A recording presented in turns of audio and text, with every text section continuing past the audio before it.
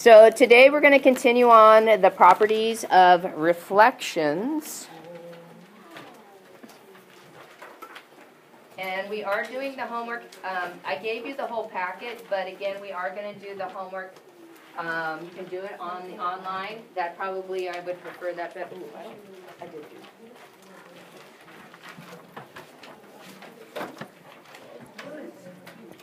So our objectives today is to graph reflections.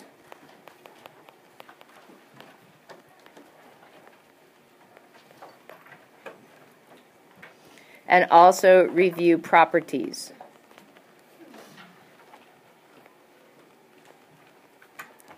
Of reflections. I didn't really talk much, and I have the video to upload to yesterday's uh, or to Friday's assignment. We really didn't talk much other than a few vocab words. So today we're actually going to get more because I wanted you to try doing that um, explore activity, which again, very few of you did do your homework, so that's going to be another zero showing up on School Loop. So let's go back to that idea of let's do the reviewing and let's go through that word congruent.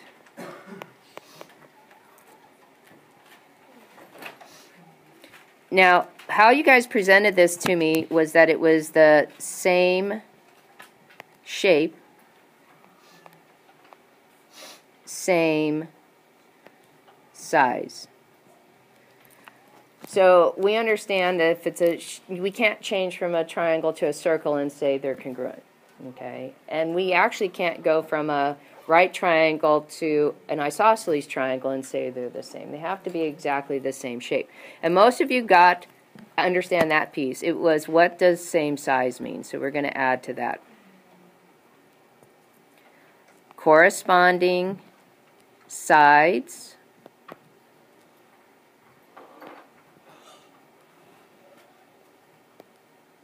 have equal lengths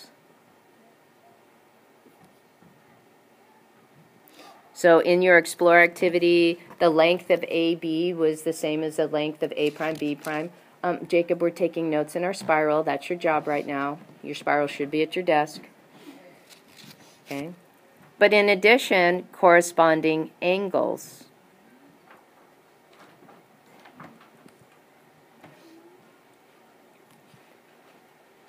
have equal measures.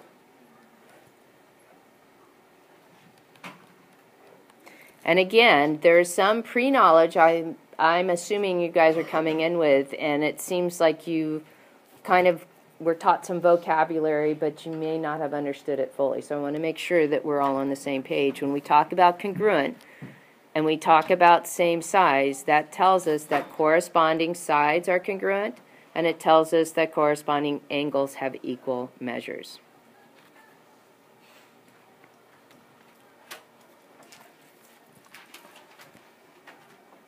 All right, so let's add one more piece that related back to um, something that should have come up during that uh, explore activity that you guys did for homework on Friday.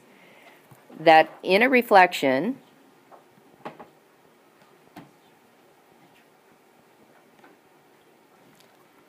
each point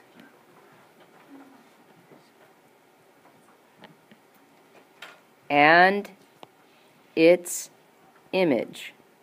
Remember, the original guy is called a pre-image, Jacob? Where we move to is called the image.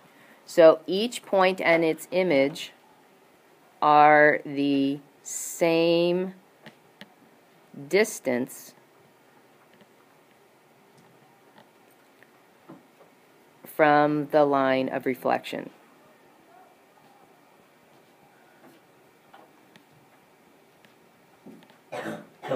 Okay, so that's that was a big where you were measuring lengths, and there is a second um, explore activity you guys could try on your own, but it also has you measure angles. Okay, uh, you can check that out on your own if you'd like to. All right, so I'm going to bring out my graph paper, and I'm going to recreate that, uh, and you can create your own. Uh, we went to six on our axes. So you're going to want to make six tick marks. Label your axes X and Y. Don't forget arrow caps. I'm going to label every other number. It was kind of that that's what I don't like about in the packet is that they have big gaps between the numbers. Like 0 to 6.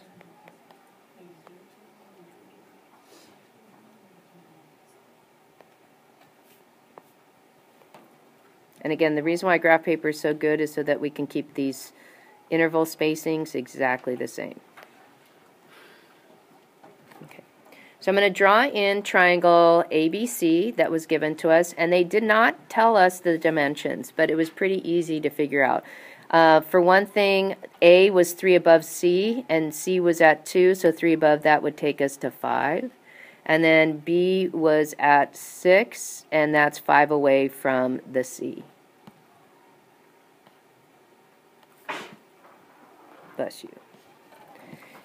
And then they asked us to reflect over the x-axis. So we're going to actually reflect down, and we're going to be the same distance. C was to above the x-axis, so C prime is going to be to, you know what, I'm going to use a different color for my prime shape, or my image. Okay, so C prime would be 2 below, the x-axis B was 2 above, so B prime would also be 2 below. And then A lined up with C, and it was 5 away, 5 above the x-axis, so A prime's got to be 5 below the x-axis. So we get uh, 2, 4, negative 5. So there's my A prime.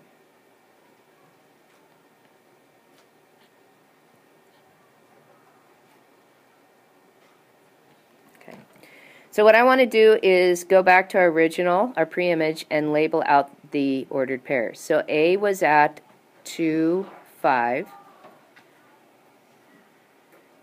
B was at 6, 2. And C was at 2, 2. Now let's list the coordinates for A prime. Where's A prime located at?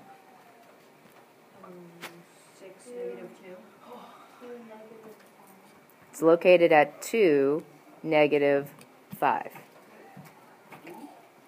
A prime. Where's B prime located at? 6, negative 2. And where's C prime located at?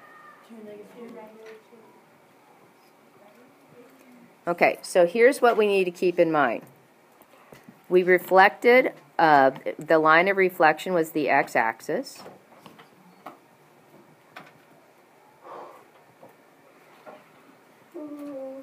Look at your ordered pairs. What in the ordered pairs stayed the same? Isabella?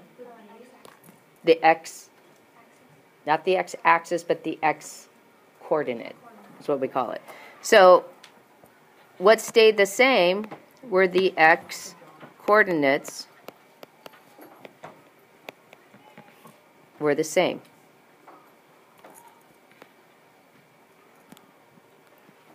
And then what would how would you describe the y coordinates from the pre-image, the black one, to the image, the pumpkin colored one? Okay. okay, so we what's a word that means a sign change?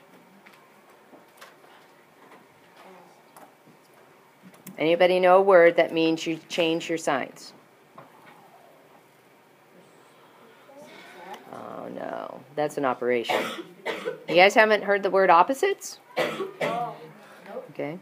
Well, then you haven't been listening because that's been taught to you when you've been told to do opposite operations and whatnot. The y coordinates are the opposite sign.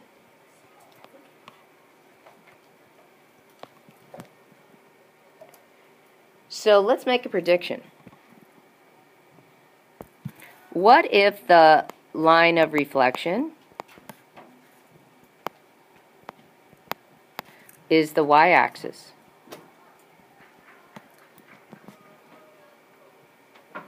What do you predict will happen with the x-coordinate, and what do you predict will be happen with the y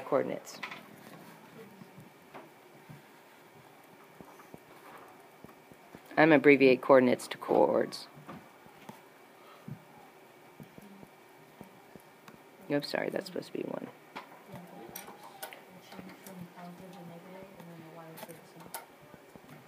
Okay, what's going to happen to the x coordinates?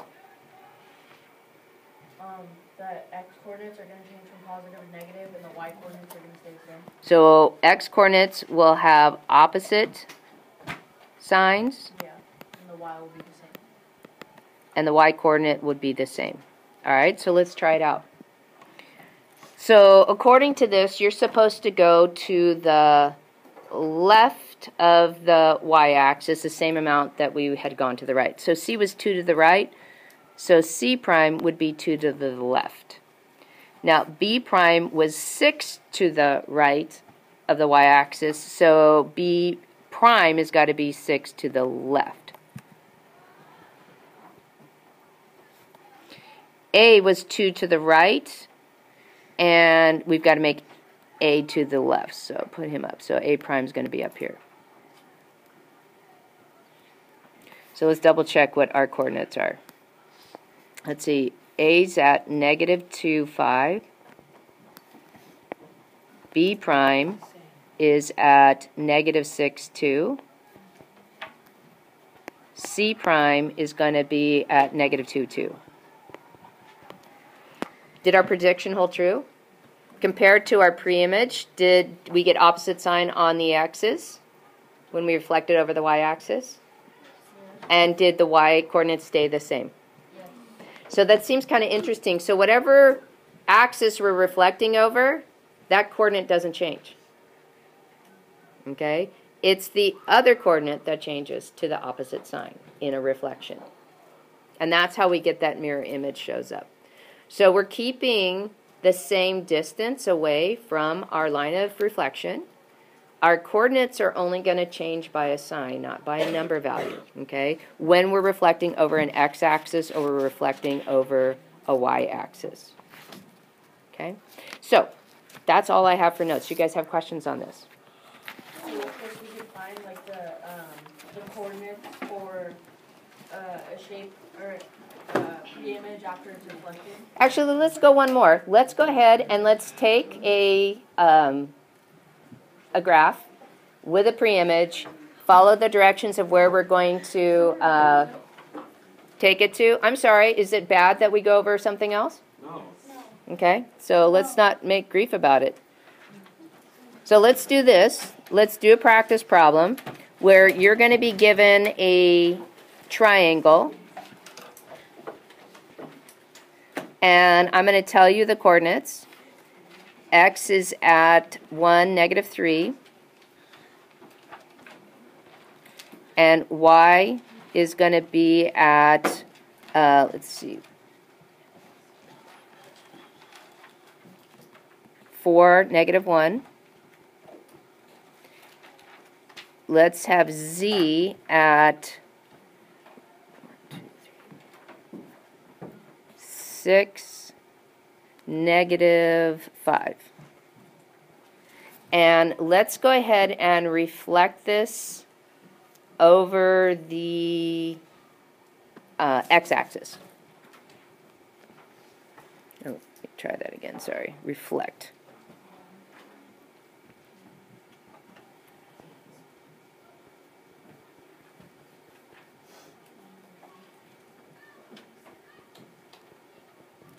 So again, if we're going to reflect over the x-axis, what's the prediction that's going to happen to the coordinates?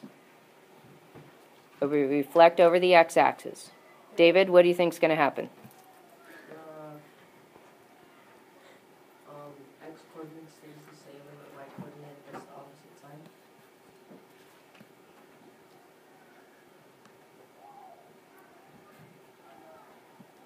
So let's do this again, and let's see if we're right. So we need to have a lot of negatives.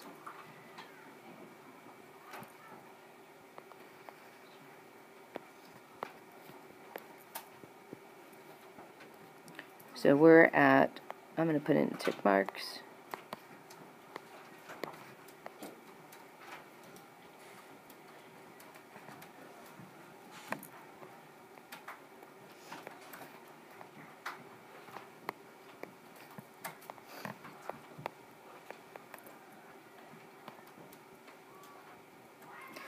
So we're at 1, negative 3. That's our x. Our y is at 4, negative 1. And our z is at 6, negative 5.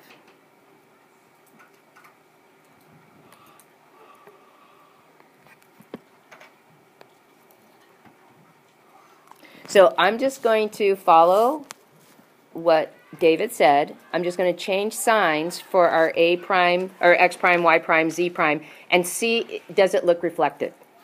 So let's do that guy in this bright color. So we're going to think that we get 1, 3. Y prime would be at 4, 1. And z prime would be at 6, 5. So now I'm going to graph those. There's the x prime. 4, 1. That would be our y prime. 6, 5. That would be our z prime. Does that look like a reflection? Uh-huh. All right, we got one uh-huh. Yes. Sure does. All right, I think we've got this figured out then. All right, that's it. So